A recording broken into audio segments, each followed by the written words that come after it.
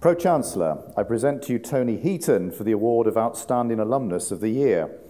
Tony is a distinguished member of an alumni community that, as we have heard, numbers nearly 150,000 members across the globe. As we recognise his achievements through this award, we also acknowledge and celebrate the wider successes of all Lancaster graduates and the important part they continue to play in the life of our university. Tony Heaton is a highly acclaimed sculptor, performance artist, and champion for disability rights, diversity, and social justice. Born in Preston in 1954, his life direction was shaped at the age of 16 when a motorbike accident left him with a serious spinal injury. He spent his early career as a self-employed artist and sign writer and was also heavily involved in the music industry as a disc jockey, record shop owner, and member of a progressive rock band.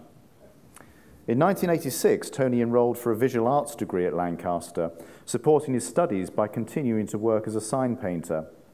During a field trip to Morecambe Bay to experiment with environmental sculpture, his tutor, Paul Hatton, commented on how immediately distinguishable Tony's tracks were created by feet and crutches compared to the footprints of his fellow students. As Tony recalls, a chance comment became the catalyst for a whole series of works relating to disability and my interaction with the environment. A desire to promote diversity and social justice for the disabled community has informed Tony's art. He first exhibited in Out of Ourselves in 1990 with fellow disabled sculptor Adam Reynolds, for whom Tony later created a memorial bursary. Disability Arts in London magazine described Tony as making use of the everyday impedimenta of disability, collecting cans, NHS wheelchairs, x-rays, Part M of the building regulations, but observing that he turned them into profound and joyously witty statements about the nature of our oppression. Notable among his works is Shaken, Not Stirred, consisting of a seven foot high pyramid of 1,760 charity collecting cans, its ascending ranks of red plastic referencing the hierarchical nature of the charity system. Tony turned this piece into performance art when he brought it crashing down by throwing an artificial leg at it, suggesting that the system could be destroyed by the collective power of disabled people. As his reputation as a champion for disability rights through his art grew, Tony began to win notable and highly competitive commissions, including one from the organising committee for the 2012 London Olympics.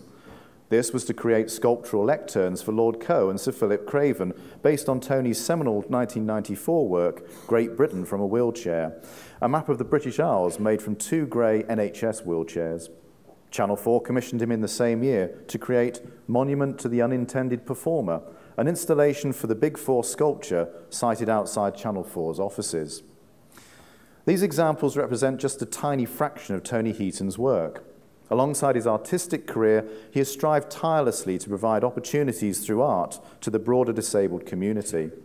Tony has served variously as director of Holton Lee, a 350-acre countryside campus in Dorset that offers a mix of environmental, artistic and spiritual activities, including short-stay residential facilities, and as CEO of Shape Arts, a disability led art organisation working with major cultural institutions and disabled people as artists and audiences.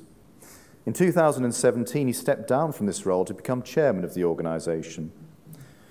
Tony has also served on many boards and working groups, including Arts Council of England Diversity Task Group, the Tate Access Advisory Group, Disability Arts Online, and as a trustee of Portland Sculpture and Quarry Trust. Tony's outstanding contribution in the service of the arts and the disability arts movement was recognised in 2013 with the award of an OBE in the Queen's Birthday Honours. The range of Tony Heaton's achievements over the last three decades should act as a reminder to each of you graduating today that you too can be successful with commitment and dedication. In reaching for success, we hope that you will make the most of your Lancaster qualifications, not only to better yourselves, but also to benefit your families, your university, and the wider communities in which you live and work. Pro Chancellor, it is my honour to present Tony Heaton for the award of Outstanding Alumnus of the Year.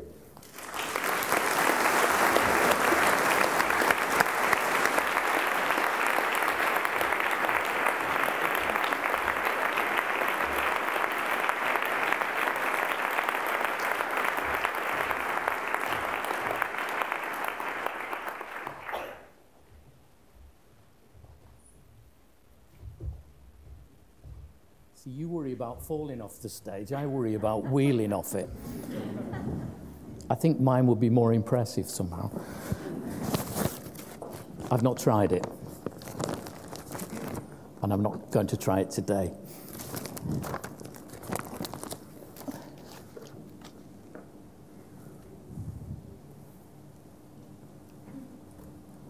Pro Chancellor, fellow members of the university, honoured guests, Thank you very much for this award. I know it's a cliche coming to university, and for me, it was an incredibly important life changer. It, was my, it wasn't my first life-changing experience, as uh, Nick has pointed out. I swapped a motorcycle for a wheelchair when I was 16. It, um, it got me out my exams and a lot of revision, which was a good short term gain, but in the long term, it's probably not the brightest thing that I've ever done.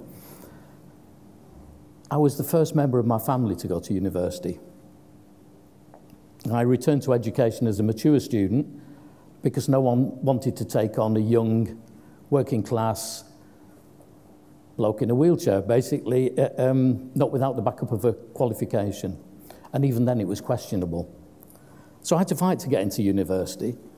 I applied, I was interviewed, and I was sent away to get some A levels and a BTEC or some sort of qualifications.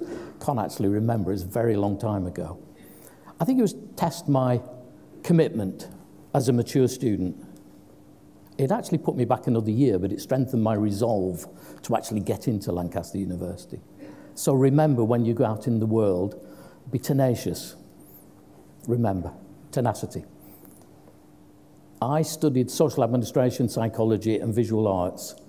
And I made the mistake of putting my speech in a very shiny piece of whatever this is. And, and the light reflects on it. It seemed like a good plan, you know, keep it clean and tidy. So I studied social admin, psychology, visual arts, and it was a while later before I realized that I hadn't been taught anything about these three subjects. What I had learned was how to start thinking, questioning, researching, and how to apply critical thinking, not just to these three subjects, but to everything that I would do throughout my life, then and now. My career has largely been in the third sector, working in citizens' advice, social justice, and for the last 20 years as chief executive in London. Throughout all my proper jobs, I've never lost track of my passion and my first love, which is the arts. So I have always won arts commissions, I've always applied for arts commissions, and I've always exhibited and worked as an artist throughout all those proper jobs. I didn't want to be a starving artist. That's why I had proper jobs. I also had a family to support. Very few people make a good living as an artist, but I don't want to put anybody off whose ambition is to be an artist. Go out and grab it.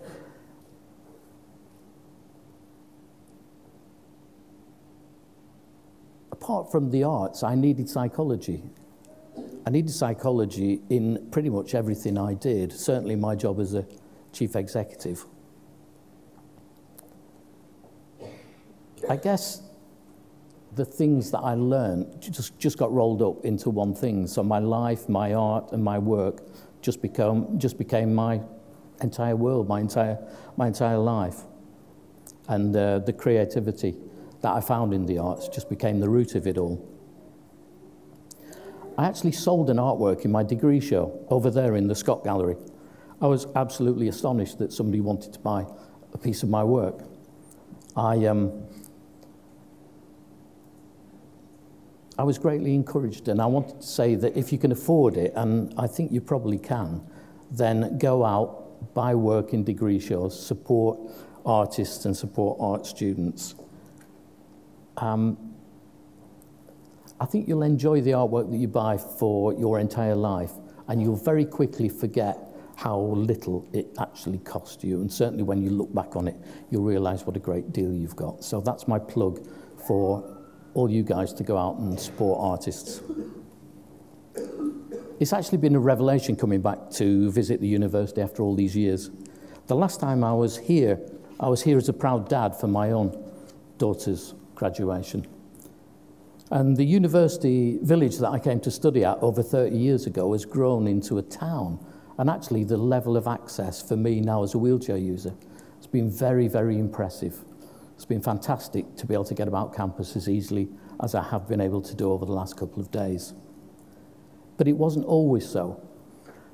Back then, 30 odd years ago, access at the university was just about manageable. And I studied in the arts department at Pendle, which was right down at the south end of campus.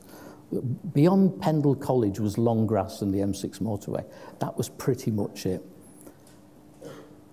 When I was getting towards the end of my degree, we were informed that we were going to move to the centre of campus, brand new building. And I asked if I could see the plans for the new building. And I had a look. It was a four story building, and I asked where the lift was, and there wasn't one.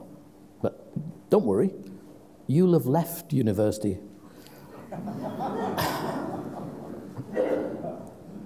Before we move in, said the powers that be.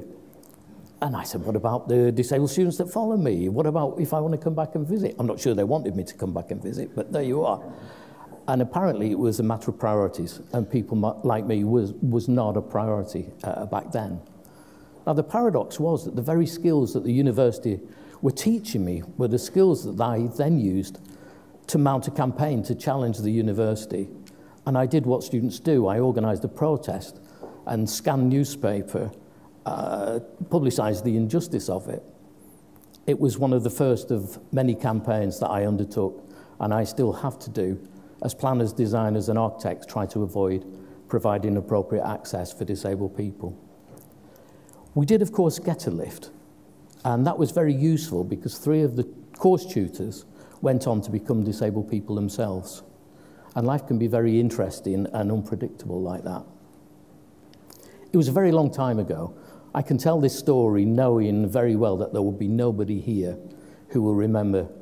And I'm delighted that Lancaster University now prides itself quite rightly on being outstanding in its approach to inclusion, access, and diversity. I want to pay tribute to my next life changer, my tutor, the fellow in sculpture, Paul Hatton, the late Paul Hatton, whose chance remarks about my tracks in the sand did indeed start my journey to create art that has become known as disability arts. I want to also make a shameless plug because I've got a golden invalid carriage sort of teetering on the roof of the parish church in Liverpool uh, St. Uh, St. Nick's Parish Church, for anybody that knows Liverpool. So it's there on the roof. It's going to be there for a year. It's called Gold Lame, Lame, Lame. So go and have a look at it. And it's got, yes, it's going to be there for 12 months. And I wanted also to finish by telling you about a dream that I fulfilled. It's a dream I started to have 21 years ago because disability arts was not represented in the mainstream. And I imagine that we should have a national disability arts collection and archive, NDACA for short. It's taken 21 long years to get there. But following a million pounds investment from the Heritage Lottery and some investment from the Arts Council of England, NDACA was finally launched at the House of Lords. It's the first National Disability Arts Collection and Archive in the world. So I wanted to use that to say to you, hold on to your dreams, don't give up on them, don't be afraid of failure because we have much to learn from it. And don't forget to be tenacious. And I wanted to say that coming here was a fantastic decision for me. Like some of you, I got no idea back then what I would do and where life might take me. In fact, it was only some time later, after graduating, when I was no longer caught up in the maelstrom of all the stuff that you're, you know, that you're in the middle of right now, that I just got time to reflect uh, and start to realize what a great privilege actually it was to come to Lancaster University. So thank you, Lancaster, for my education. Thank you for this award, which I'm very, very proud to receive. And congratulations to all of you on your achievements and very, very good luck on all your subsequent journeys, wherever they might take you. And thank you.